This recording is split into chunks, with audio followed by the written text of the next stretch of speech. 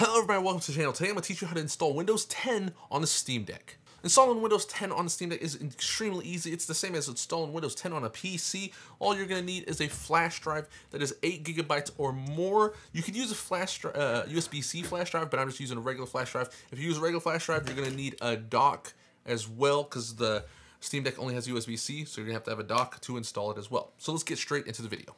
Also, before I start this, I do want to say that this is not a dual boot guide. This is just if you want to erase SteamOS and have Windows 10 on the Steam Deck. I will have a video up for dual booting if that's what you're looking for. Okay, so the first thing we're gonna do is we're gonna create the installation media for Windows on the USB drive. So after you search it up, I'll have this linked in the description as well. You can go ahead hit Windows 10 right here. Scroll down, it says create Windows 10 installation media. Go ahead and click download now. Wait for that to download. Once it's downloaded, go and click and open it up. This box is going to appear saying getting a few things ready. Once that's done, you're going to have to accept the license agreement. After you accept the license, it's going to load for a little bit and it's going to bring up this page right here. says, what do you want to do? Make sure to click create installation using a USB and then click next. On this page, you don't have to do anything, just click next. And then choose which media to use. Go and make sure it's selected on the USB flash drive, click next. And then find your flash drive. My flash drive is right there, it says USB, and then click next. It's going to take a little bit for your flash drive to be ready, but once it is, go ahead and click finish. Your USB flash drive is now ready. Now you're to go ahead and turn off your Steam Deck and plug in the USB flash drive. Now just hold the volume up button and keep it held down the entire time after you press the power button. When you do that, this screen is going to pop up. This is the BIOS, and in the BIOS, use the directional pad and scroll over to the boot manager and press A. Here you're going to see a list of drives on the deck. Scroll to find the USB drive that you installed Windows on and press A when you do. Now this is going to launch the Windows installation tool and the screen does go portrait. Don't worry, we're going to fix that later. Now just press next and install now. You will get the screen right here asking for a product key. Press I don't have a product key, you're not going to need one. Now select the Windows version of your choice. I went with Windows 10 Home. After that, it will show the license terms, accept it, and press next. Then on this setup page, make sure to press custom install. Here you will see a bunch of partitions and you can just start selecting each one and deleting every one until there's only one left. Once it's just one, you can select it and press next.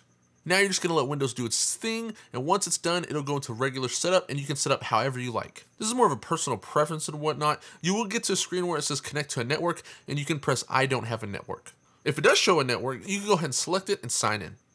Once that's done, you're almost done with installing Windows 10, but you do need to update it. So you can go ahead and plug the Windows 10 USB drive that you just made and format it because you will need it for the drivers you're gonna have to install for Windows from the Steam Deck site. After you format the USB drive, head over to Steam's website. I have it linked in the description. Here you will find the drivers for Windows on the Steam Deck. It is important to download every single one.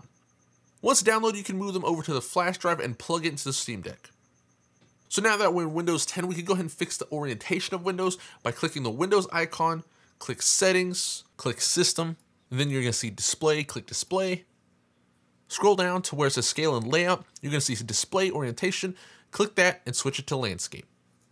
Now plug the USB into the Steam Deck that you moved the drivers on. Once you do that, a box will pop up that looks like this. It is important to extract these drivers. So what we're gonna do is we're gonna right click the driver that says Aerith Windows driver. So after you right click, you're gonna see where it says extract all. Click that and we'll bring up this box. Go ahead and click extract. Once that's done, it will show the extracted file. You can now double click the Aerith Windows driver folder until you see the setup and then double click setup. It'll bring you to this and you can click install. You can decide if you want to restart or not. I did.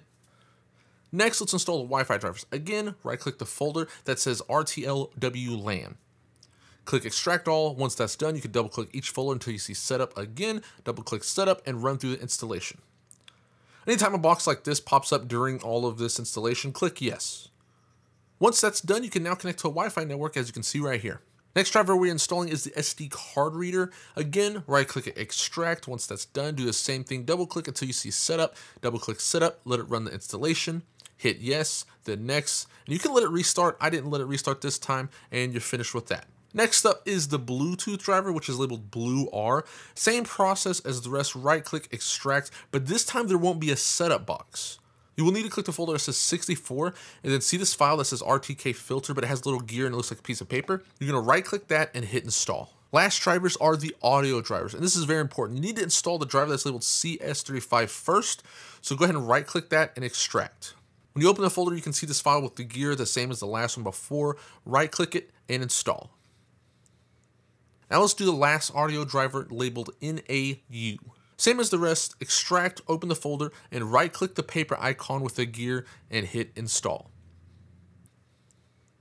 Now all the drivers are installed, however we do need to update Windows so it has antivirus and everything it needs to run efficiently. So you're to go ahead and click the Windows icon in the lower left corner, click Settings, scroll down until you see Update and Security, click that, then click Windows Update. And once you see Check for Updates, press that. From here, just go ahead and let it update everything and restart your computer afterwards. Congratulations, once you've done this, you've successfully installed and got Windows running on the Steam Deck. Now, before I end the video, I will show you how to enable the on-screen keyboard. A lot of people have this issue. On Windows 11, you really, there's really no way to do this because it's supposed to do it naturally, and it never does. But on Windows 10, you can click Enable Tablet Mode. If you enable Tablet Mode, it will bring up an on-screen keyboard just like you see right here, and I'm going to show you how to do that. So go ahead and hit the Windows icon and click Settings.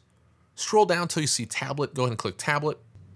And right where it says, when I use this device as a tablet, click on that and switch to always switch to tablet mode. This should help and when you're trying to type something in and you click on the screen and it brings up the tablet mode, that should help you. A really easy way to do this is if you click on the notification center on the bottom right of the Windows 10 screen, you can click tablet mode right there and switch right there. And that's it. That's everything. Thank you for watching the video. If I helped, like and subscribe. If you have any questions, drop those down in the comments.